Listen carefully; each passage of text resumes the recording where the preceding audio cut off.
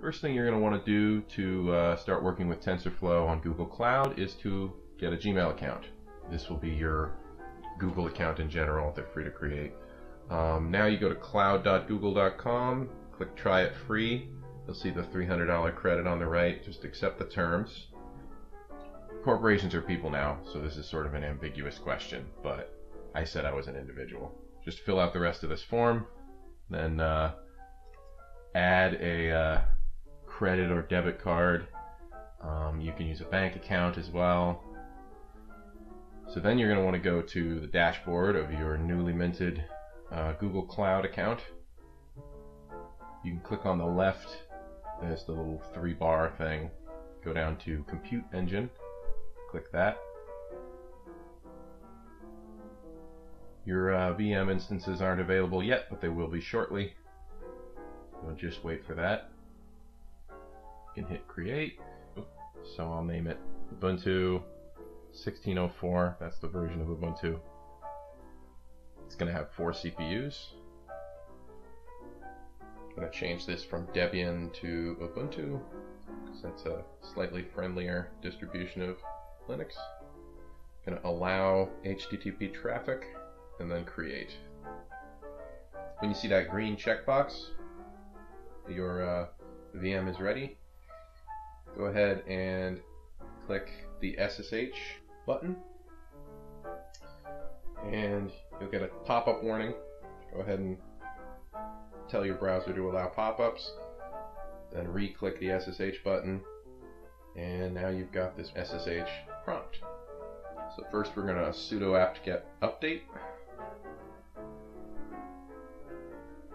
then install python pip. Then we're going to sudo pip install TensorFlow, and sudo apt-get install IPython, which is going to let us access this through something other than a command prompt. Then go sudo pip install Jupyter with a Y. Before we can access IPython in a browser window, we're going to have to open the relevant port. So click your uh, the name of your instance in the VM Instances tab. And then go down to Network, click Default. We're going to add a firewall rule. I'm going to just name it Jupyter, because that's the type of notebook we're using. Allow from any source going to open port 8888 by typing TCP colon 8888 semicolon UDP colon 8888. Now we're going to want to make a clone of the TensorFlow Git repository. Uh, and then we're going to want to change our current directory to the deep dream directory in the cloned Git repository. Now we can use the command sudo Jupyter notebook hyphen hyphen IP space 0 dot 0 dot 0 dot 0 space hyphen hyphen port space 8888. The reason we can't just use the Jupyter Notebook command alone is because we are not on the computer that is running Python. We are accessing it remotely, and so we have to open up a port to the rest of the web that we can then access from the computer that we're currently at through a browser. Now what you're going to want to do is copy your computer's current external IP address, which could change when you restart your computer or turn it off for some length of time. Sometimes Google will give you a new one. So you can check that, copy it, paste it in uh, your uh, paste it in your URL box, and then copy everything after the 0.0.0.0 um, in the URL that you're given. When you combine these, you'll be able to access your instance remotely. And anyone else you give that link to will also be able to access it. But I wouldn't post the link publicly because in a Jupyter notebook you can run regular bash commands. And of course, since it's run with sudo, you're sudo, you'll uh, you're at risk of someone running commands on your computer as the super user. You'll have to click the Deep Dream notebook file. First thing you'll want to do is uh, run your imports.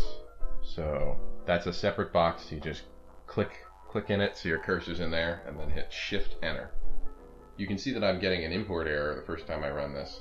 It's asking for a module named PIL, P-I-L. That's actually uh, got to be added. Uh, you can use you can install it using pip. So if you just go sudo pip install pillow, you'll have you'll no longer get this error. And I just did that. So we'll run that. Looks like it runs clean. This just downloads the ImageNet inception graph. And then in order we can shift click through each of these sections. There are little explanations of what each of them do. This uses TensorBoard to show the shape of the graph.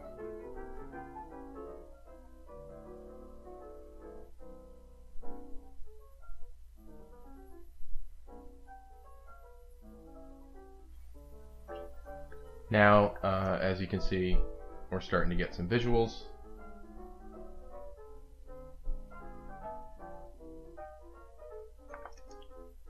This notebook explains in some detail how each of the uh, aspects of the Deep Dream algorithm are implemented. Eventually we get to visual representations of channels. So this is the flower channel. If we change this to different numbers, we end up with different features getting represented. So this is 65 and it looks like houses. Try 22. And it ends up looking like uh, yarn, something that's been knit. Try 21. A lot of these, it's hard to even describe what they are.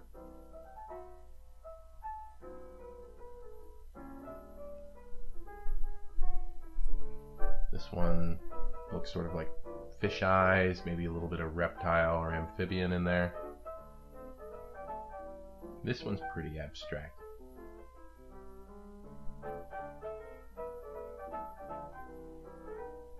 This uh, has got some architectural aspects. Try 100. And we're back to fish eyes.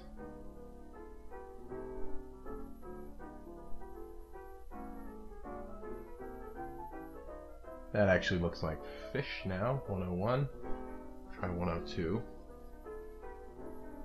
102 look like fish tails. Now 102 102 in this uh, lower level layer so or uh, that the channel 102 in a lower layer creates a much simpler visual so this one's for mixing layers and if you do 66 and 139. 139 is the flower channel, and so you can mix those two channels. You'll end up with sort of a fairy village. 67 and 139 produces a sort of abstract flower plot. Looks like Disney. Old Disney. Now we can move on to deep dreaming an actual image. They have a, this Pilatus image. We can grab our own offline. So open up another SSH window so the other one can stay running.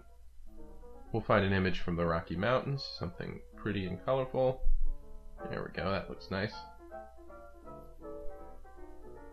Now we type wget, then the URL. As you can see, the uh, image shows up now in the directory. The uh, mv or move command is also the rename command in Linux. So we're going to rename this something simpler. If you type rmnp and then you just hit tab, it'll continue the name for you, and it'll put the uh, their, uh, it'll put the backslashes in where they're required. So spaces in file names Linux can handle it, but we'll just get rid of that. We're going to rename it as RMNP. So the way you do that is you type MV space capital RMN, which is the first three letters of the file name that was downloaded, and then hit tab, and it should continue the rest of the file name.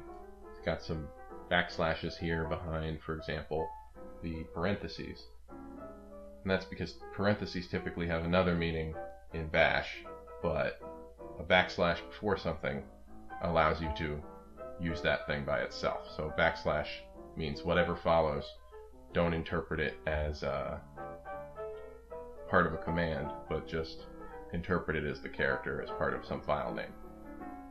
So it allows you to put spaces in and refer to things like that. Now we're going to want to resize the image.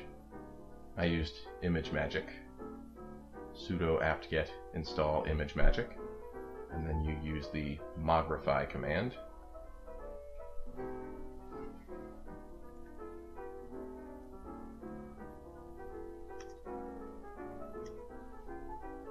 Now you can deep dream the image. You can also run a single channel on it. So this is the flower channel run on the image. and then this is uh, channel 110 run on the image.